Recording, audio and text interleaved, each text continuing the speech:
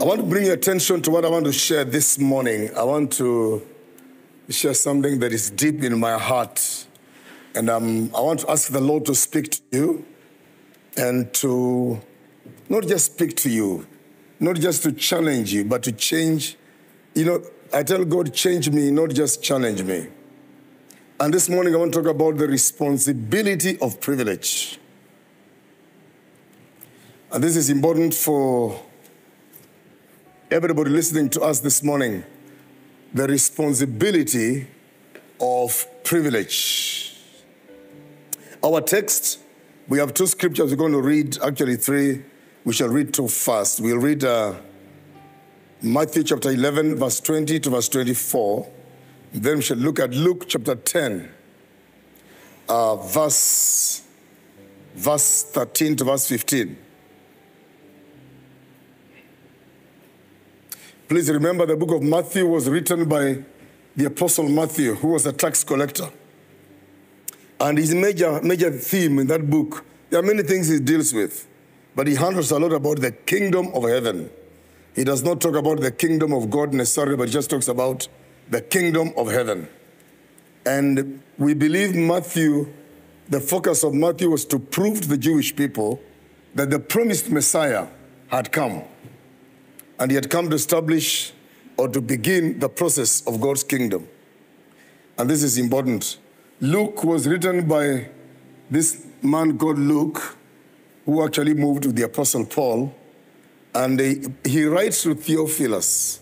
I have a problem pronouncing some of those names, but he, he, he speaks to Theophilus, who is believed like to have been a new believer or somebody who wanted to learn more about God. God Theophilus means lover of God.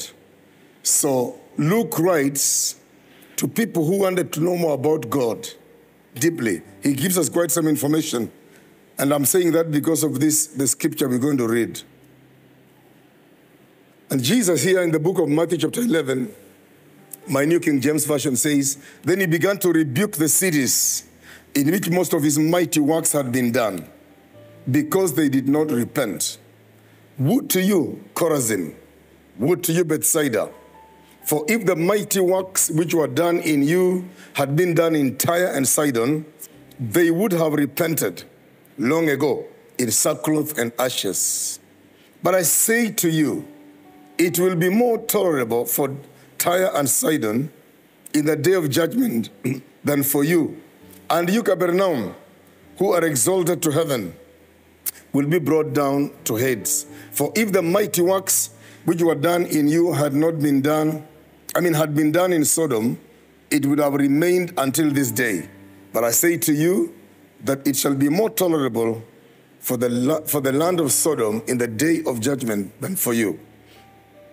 Luke chapter 10, verse 13. Woe to you, Chorazin! Woe to you, Bethsaida! For if the mighty works which were done in you had been done in Tyre and Sidon, they would have repented long ago, sitting in sackcloth and ashes. But it will be more tolerable for Tyre and Sidon at the judgment day, uh, at the judgment than for you. And you, Capernaum, who are exalted to heaven, will be brought down to Hades. These are cities mentioned, and I want your attention on this because this is important. Those of you who have a privilege of going to Israel, you remember as you go along the Sea of Galilee going north, from the baptismal place, you'll meet Tiberias, which is a big city today. And above that, you go to Capernaum. Capernaum is a ruin. There's no city in Capernaum, it's just a ruin. Small places. You, you, you see, you, you're told these are ruins where Peter lived, where Jesus lived, and just very few houses there. And as you, you keep moving along the shore of, of, of the lake, Sea of Galilee, you meet these other cities, Bethsaida and, uh, and, and the rest of them mentioned. Now, what Jesus did when he was on earth, the scripture says it was so much that most of it was not recorded. But there are things recorded about what he did.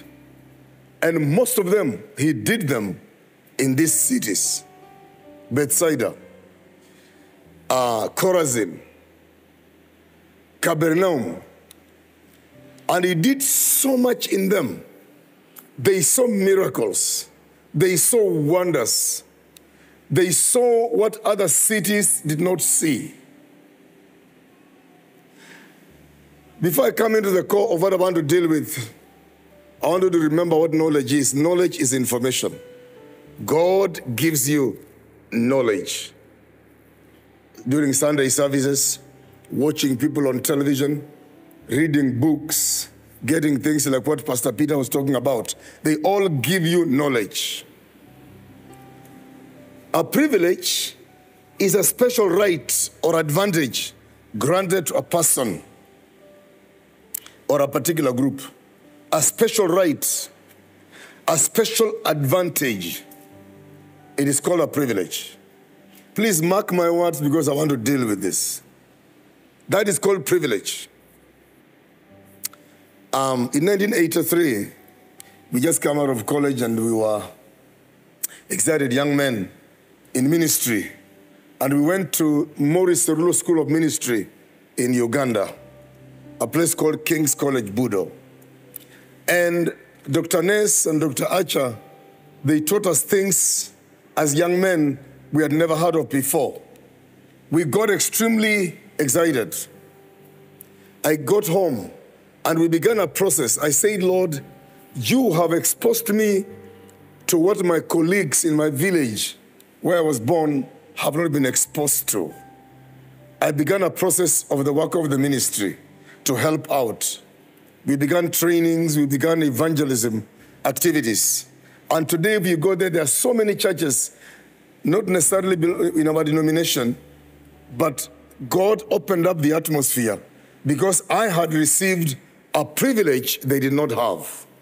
And because of that, uh, today the place has a lot of spiritual light. There are privileges God gives us. And I want to say this to you as my opening statement before I come to four, four or five things I want to major on. Knowledge and privilege are important. Never ignore that. Each one of us here this morning, each of you listening to me, there is a knowledge you have received. There are privileges you're walking through, you're walking in, you're living with. When you reflect back, you know some people who don't have the knowledge you have. You know some people who don't have the privilege you have. It is important to have privilege. And let me tell you something if you're sick and a doctor prescribes medicine for you, it becomes your responsibility to take medicine because you have the advantage of having a doctor. The doctor gives you medicine.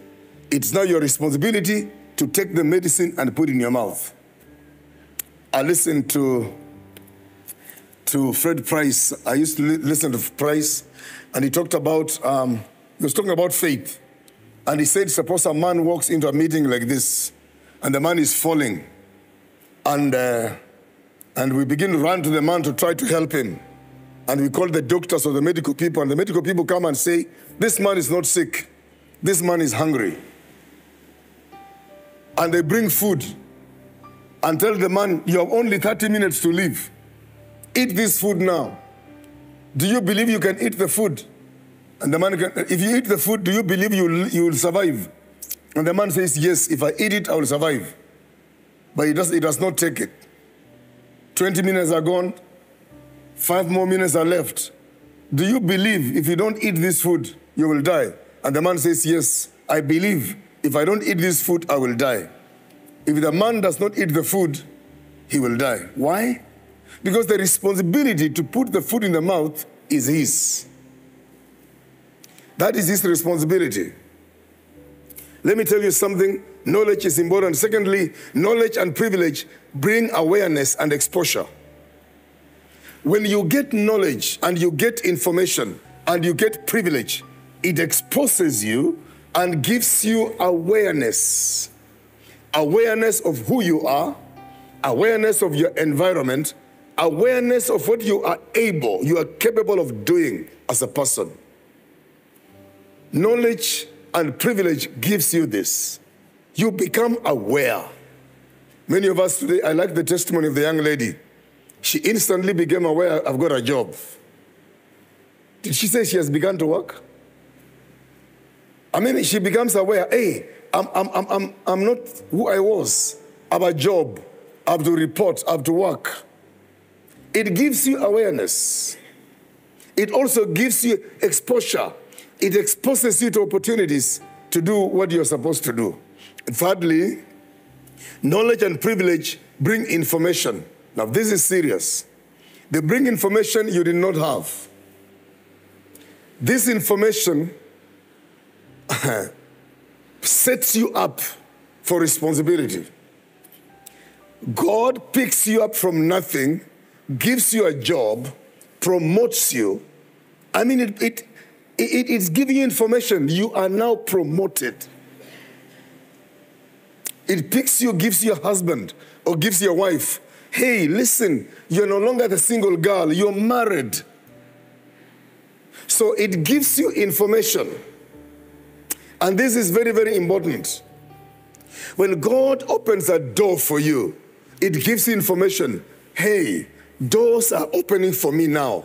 My life is changing and going to different directions. I want to urge you to begin to examine every privilege you have. Think about it as I share this morning, because this is important. And remember, for every privilege, there is a demand for responsibility. There's a demand for responsibility. And that has to be looked into critically.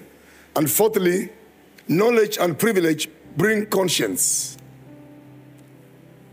The moment privileges happen in your life and the moment knowledge comes to you, your conscience should be open to hey, what is going on here? I've seen this. I've seen God do this. I've seen God open this door.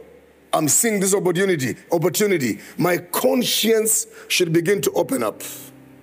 My conscience cannot remain the way it was because of this wonderful privilege that I do have. Ladies and gentlemen, I don't want to go into testimonies. I have too many of them. But I want to encourage you. Your conscience is changed by privilege. It is changed by the knowledge God gives you. Be careful of all the privileges God is giving you, either now or in the future. Be careful of all the knowledge God is giving you for now and in the future. Because for all of it, there is a demand for responsibility. Knowledge and privilege bring accountability. Now that you know, you become accountable. I love the scriptures. You know, when you begin to digest scripture, the Holy Spirit begins to show you stuff. You become accountable. You shall know the truth, and the truth shall set you free. You become accountable. You know, the, Jesus says, The Spirit of the Lord is upon me. He has anointed me. He says many things, but one of the things he says is to proclaim liberty to captives. To proclaim liberty to captives. Not to pull captives out of their captivity, but to proclaim to them that, hey, liberty is here. You can become free if you want. I used to think Jesus came to pull us out of prison. No, he came to declare, to proclaim liberty. Hey, you are free. You can be free. You can move forward. You can be a blessed person. You can expand. You can bring change. You can impact society. The information is given to you, but the responsibility to act is yours. It is in your custody, it is in your hands.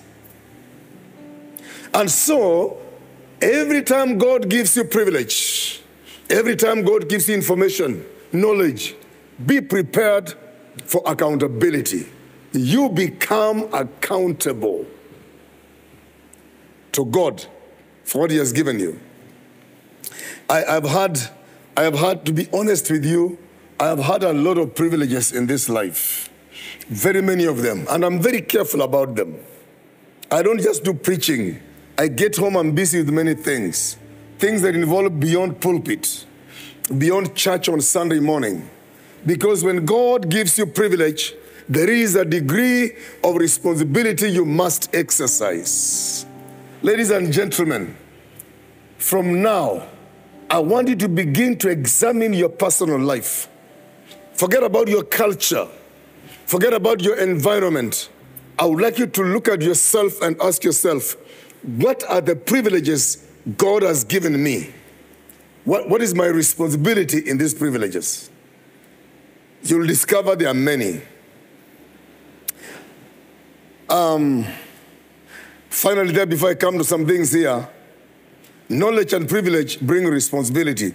I measured much on that. The information you get demands responsibility on your part. Now, Jesus says this Woe to you, Chorazin! Woe to you, Bethsaida! You know, you woe to you, Capernaum!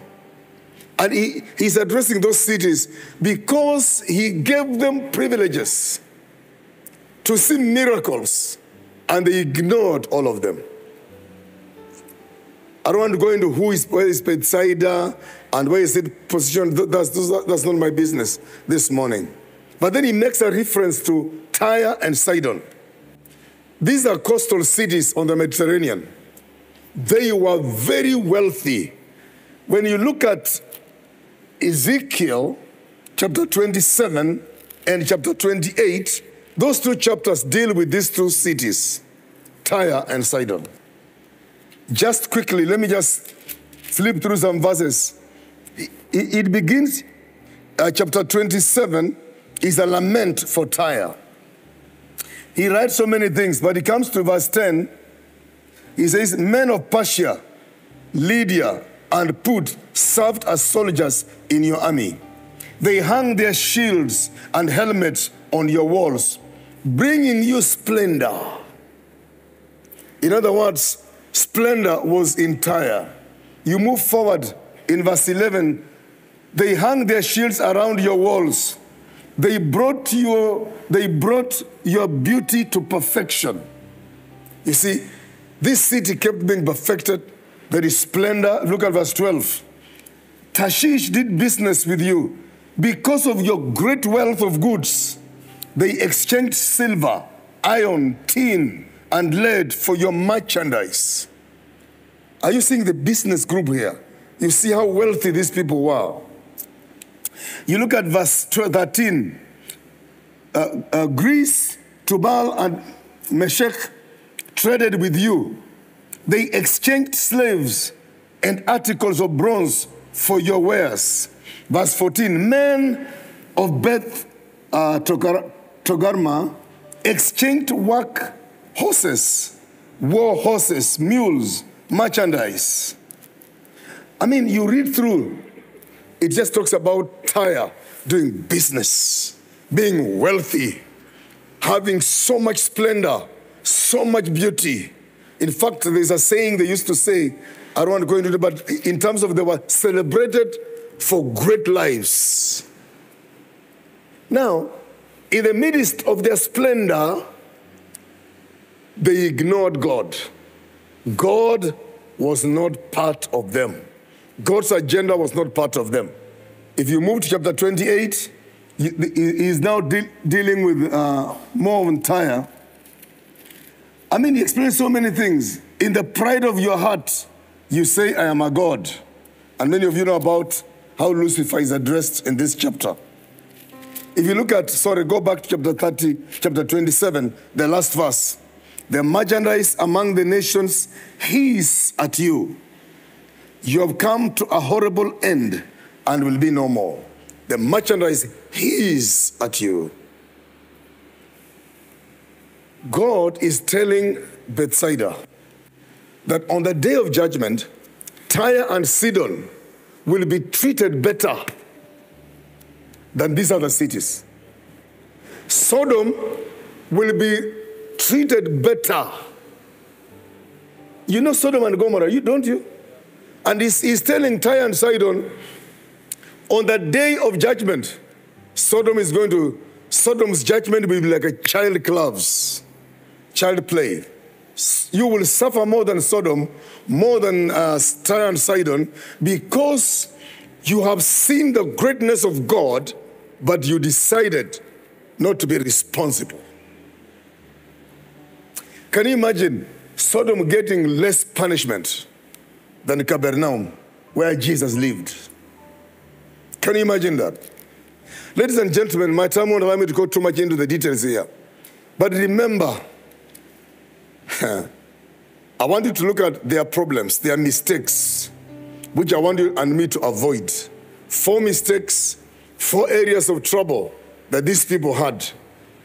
They had the privileges, but these four areas destroyed them. And I want you to keep this in your mind and heart as you serve Jesus in this country. Number one, the sin of forgetting responsibility.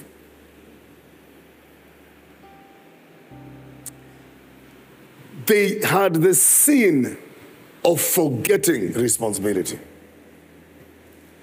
They, they developed a degree of forgetfulness, kind of, uh, kind of carelessness. And they forgot that the privileges they had carried responsibility. Ladies and gentlemen, it is about attitude. You can develop an attitude of irresponsibility despite what God has done with you. And your attitude can be I don't care. I will not pray. I will not do, I will not do missions work. I will not invest my life in the kingdom. I will, I will not do some things. I'm just a good brother, a good sister attending church on Sunday.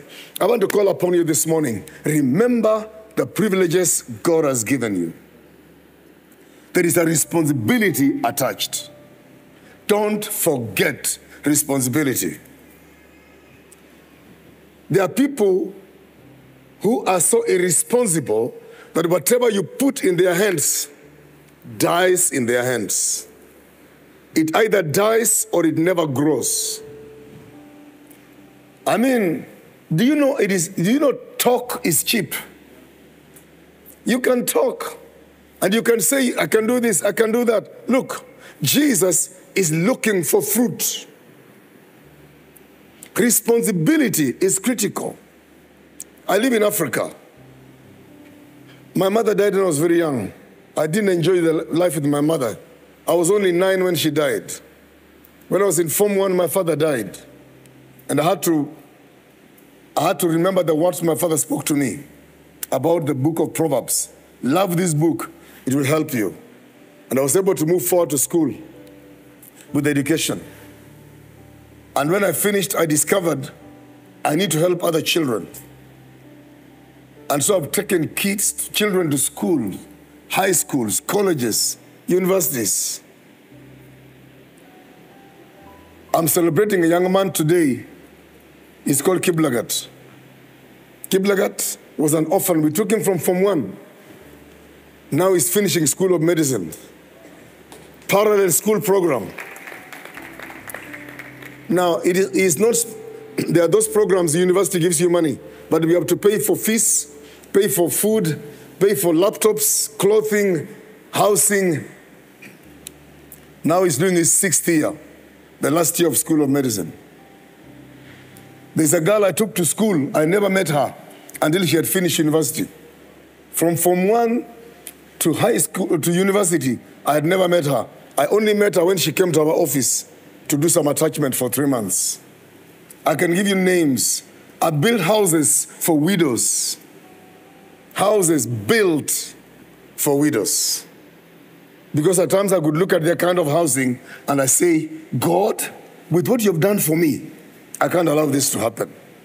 I want to encourage you this morning every privilege carries responsibility.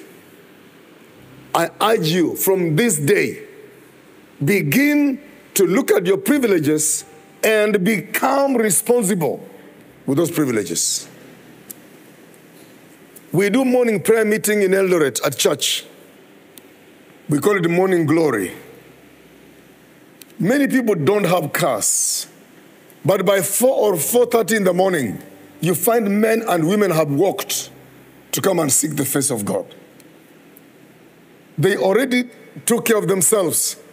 When we finish the prayer meeting at 7:30, they go straight to the places of work. Because they are, they are, they are privileged to be believers. They are privileged to have jobs. I don't know about you. You have a privilege this morning. Be responsible. Don't forget responsibility. Number two, the sin of doing nothing. This was the sin of Bethsaida, Chorazin, Capernaum. They saw the miracles, they saw the power, they saw the mandate of Jesus, they saw great things, but they decided they will do nothing. In their hearts, they convinced themselves they will do nothing. My friends, they refused to be creative. There are times in the church you give somebody responsibility and they still want you to give them details. You're supposed to be creative in the house of God. Make something out of nothing. I would give you examples. I have no time to go into that. We need to commit to action. Commit to action. Action, not just words, action that is tangible. That people can look at and say, Your God should be our God. Don't give up because you are hurt. Some people refuse to do anything because they did something and somebody hurt them. You're not doing it for people, you're doing it for Jesus. People can hurt you, step on you, abuse you, belittle you, mock you. But if you're doing it for Jesus, you remain focused. Never give up because somebody hurt you in the church. Oh, they did this against me. I will not serve again. I'm not going to be there again. No. Throw that aside. Grow up. Look at your privileges and get busy with the Holy Spirit. Every privilege carries responsibility. And from today, you will not escape God. Because God is telling you this morning through this human being here, the privileges He has given you, they carry, they carry responsibility. I don't know which privilege God has given you. You know, I met a gentleman whom God has raised. God raised this guy. The wife used to pray a lot, and the man, God raised him up. One day, people came and prayed in the house, and uh, they said, God, we thank you for supplying food. And the man said, It is me who bought the food, it's not God. Can you imagine that? It's me who bought it, it's not God. What a sad story. You and me can do nothing without our God. I want to remind you without God, you and me are nothing. You may say, Oh, but there are people out there who do not even know Jesus and they're surviving. They are in another kingdom. They are fulfilling demands of that other kingdom. We are in a kingdom. If we step out of this kingdom, we step into another kingdom. We cannot just float around. I want to urge you don't sit there doing nothing. The sin of doing nothing was the sin of Bethsaida, was the sin of, of Capernaum. Arise and do something. Janet asked you a question What do you do in the house of God? I want to urge you this morning. I would like you to become as busy as a bee. That's what you say where I come from. Let your presence in the work of God be so, so clear that people know you without you telling them who you are. Because you're responding to privilege. You carry privileges. Many of you here have jobs. Many of you here drive a car. What, what privileges you have? Just look at them. Many of you here live in good houses. You have a fridge, you have a cooker, you have microwave. There are parts of this world where people don't even have that microwave, that cooker. When I go to my village, I look at the way people live, my heart breaks. Do I walk away doing nothing? No, no. I don't want to be part of the responsibility. This is your time for responsibility. I appeal to you this morning from today, the religious attitude, throw it aside. Take responsibility for privileges. You'll walk out of this door, enter a car, and drive home. Begin to think, God, why have you privileged me in this manner? A, a, a friend called me, sent me messages, and he said, Please, my friend Likavo, please send me anything. Anything. My family's gone hungry today. Can you imagine a man with his family in Nairobi?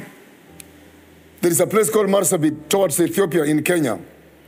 It's, it's, it's, it's an interesting place, dry. They never saw rain for the last three years. It rained the other day. And there is a pastor there preaching the gospel. The man loves Jesus among Muslims. He's passionate about Christ. And he sends me a message. He never asks for too much. He just says, Pray for us. We didn't even have a cup of tea for the last one week. We eat some little fruits we pick from here and there. But God is good. Just pray for us. Do you think all I need to do is prayer? You have responsibility because of privilege. There are people in this city who need your Jesus. There are people in this city, without you, they will be lost forever. Oh my God, my time is almost up. Let me just mention this too quickly, then we close. The sin of being complacent. That's number three. These people had one sin. They were complacent. You know what complacent means? Self, self-satisfaction when accompanied by an awareness of actual dangers and deficiencies. Self-satisfaction. They were satisfied. They saw Jesus do great work, but they were so satisfied. They never cared. They were complacent. They were Christians. They saw miracles, but they were complacent. And they were happy with it. The strange thing is they did not know the consequences. They did not know that they were becoming worse than Sodom and Gomorrah and, Beth- and, and Sidon and Tyre. Ladies and gentlemen, I come to appeal to you this morning. Come out of complacency. Make decisions for dedication. I've had people teach about commitment. Make a commitment, make a commitment. Let me tell you, it goes beyond commitment. It goes from commitment to dedication. Commitment to dedication. You know, a man can tell his wife, I'm committed to this family. And that's true. He may be committed. They go to work together in the morning. He picks her in the evening after work and they drive home. They have dinner together. So they eat breakfast together, dinner together with the children every day. He's committed. But uh, during lunch hour, lunchtime break, he has a relationship with another lady. He is committed to his family, but he is not dedicated to his family. There are people committed to church, committed to God, but not dedicated to God. Every small opportunity, they escape doing what God wants them to do, and they give excuses. This Jesus that I've served for years, ladies and gentlemen, is a good God. He can sustain you. Just do what you're supposed to do. Don't be complacent. Finally, I close on this the sin of indifference. Indifference. These people had seen great things, miracles, signs, wonders, powerful things, demons being cast out, bread being multiplied. They had seen it all, but they decided to be indifferent. Indifference is a lack of interest, lack of concern, it's lack of sympathy. It is marked by lack of enthusiasm.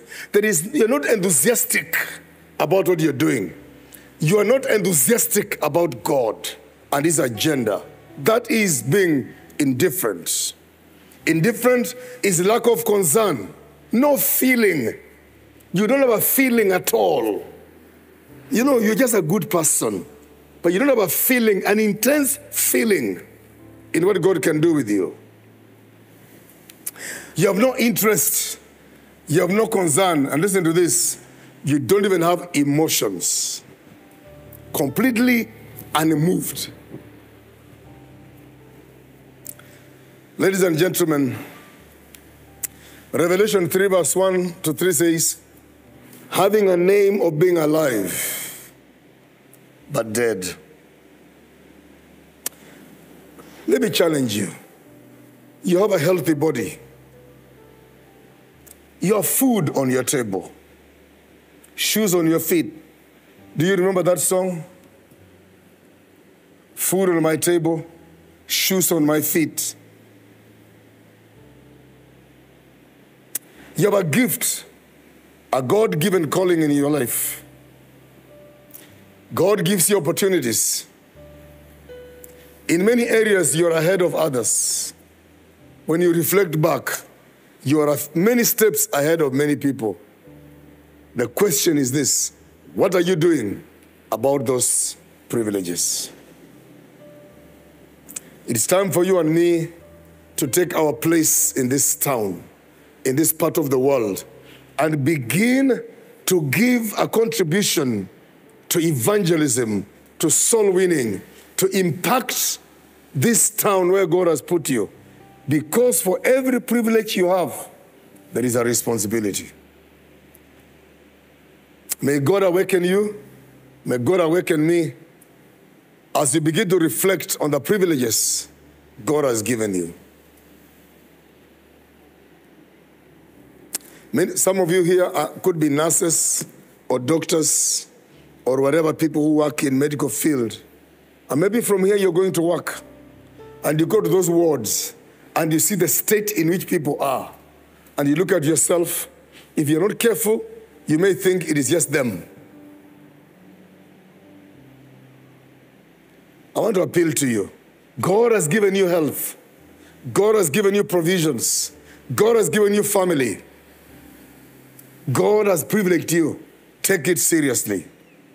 And God will be able to use you in this generation. Hallelujah.